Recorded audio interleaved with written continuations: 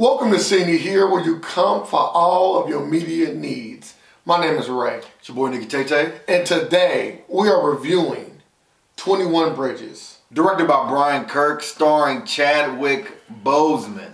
21 Bridges is a film that I was not even looking forward to. Let me just start off by saying that. This film, super low on the radar. I had seen a few commercials.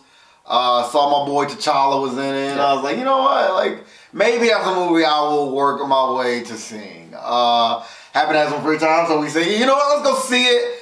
And I was blown away.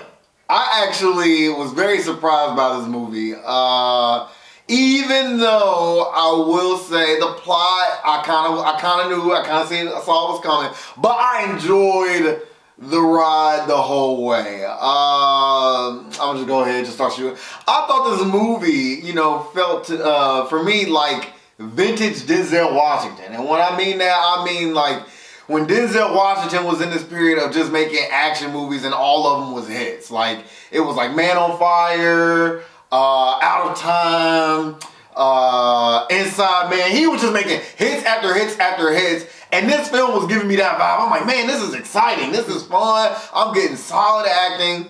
Uh, and even like the action was was really good. I was like, dang, like Chadwick Boseman might be the Black John Wick. Like I'm getting that kind of vibe from this film. It was it was a fun time. At the beginning of this movie, uh, it felt like Grand Theft Auto. I'm not gonna lie, like like these guys were mass murderers, and they were doing it in a way that's like or do y'all got auto assist though? Like, why are y'all so pinpoint accurate in what y'all doing? And this movie was a thrilling adventure, and I really did enjoy it as well. Uh, it was action packed. Uh, it was thrilling, and it kind of left you, you know, wanting to see what's to happen next. Like, uh, this movie for me was kind of in the same vein as uh, Black and Blue, right? Uh, very similar movies in their premise, but this one was way better than Black and Blue. This did something that Black and Blue didn't.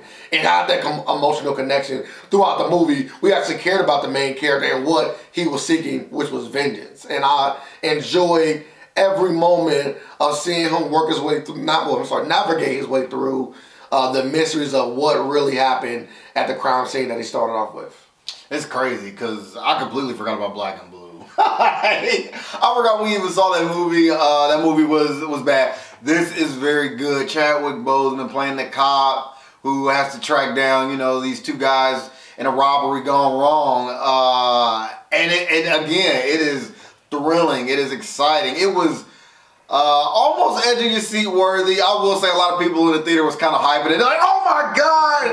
Uh, and I'm just like, being in that environment, it's, it's easy for you to go, okay, this is good. Like, yeah. let me get into it. Yeah. Because everybody in the theater was so into it. It's been a while since I saw a movie uh, that really had that response. Maybe like Endgame, where, where it felt like you, was, you were literally watching it with the entire theater versus just enjoying it kind of on your own. And uh, I would say the biggest negative to this movie for me was the predictability, right? Uh, nothing in this movie surprised you, right? And I think that's just maybe due to just knowing movies, right? Like it's just so, I guess, cliche, you know, from beginning to end. Like you kind of know, or we get it you know, whatever, whatever. I don't want to ruin the story, but you get it. Like you just can walk your way through knowing what's gonna happen. Now this doesn't take away from the movie, but you do have to point out that you've seen this coming, right? You've seen this coming a mile away, even till the end, right? Even at the end, I've seen it all coming, and uh, they could have maybe done a better job of maybe trying to disguise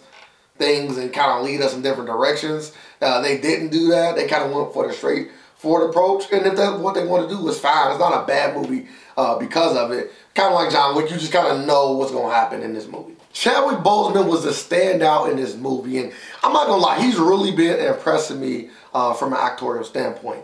Uh, we get James Brown, we get Thurgood Marshall, we get Jackie Robinson, and we also get Black Panther. We get we get T'Challa, and he does a good job of navigating through all of these characters and really making them his own. And I will have to say that he is really uh, stepping into that uh, that Will Smith, Denzel Washington, Samuel Jackson kind of territory. Uh, him and Michael B. Jordan, in my personal opinion, is leading the way with this. Uh, even though he's kind of older himself, but leading this way with these, I would say, newer uh, black people because you know Denzel Washington, Will Smith, they kind of on the, the old end of the spectrum and.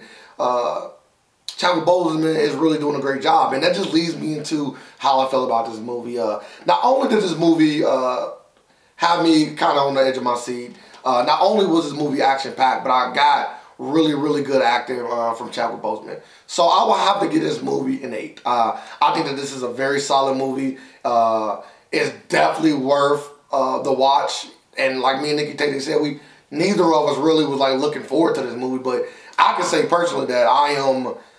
I have to, for now on out, put Chadwick Boseman on that list of guys that no matter what he in, no matter how I feel about the trailer, I'm gonna have to watch his movies. He's gonna be on that must watch list for me uh, now and going forward. In conclusion, Chadwick Boseman has another notch on his belt. Uh, and I'm happy for the guy. I'm happy that he is now getting to display more of his already talented range. You alluded to all the characters he plays.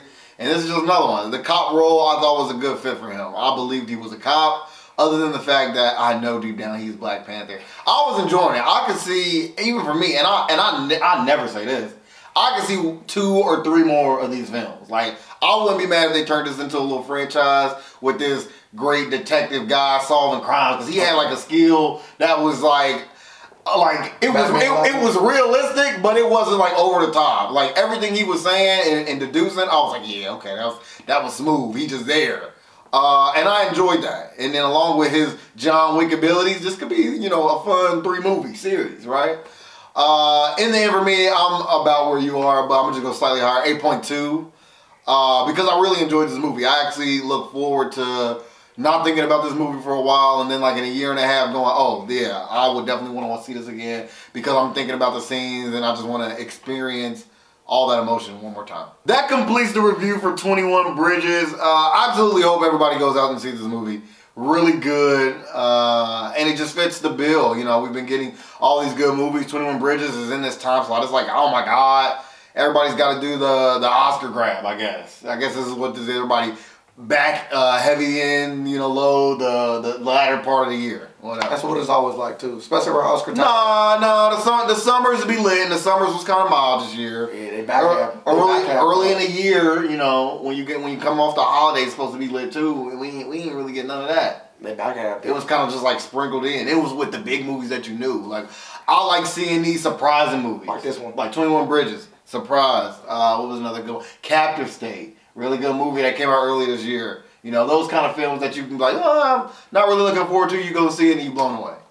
Uh, let us know if you see the film, how you like it. Uh, leave a comment. Let us know in great detail. If you want to see more from Chadwick Boseman, is he on your must-watch list? Let us know.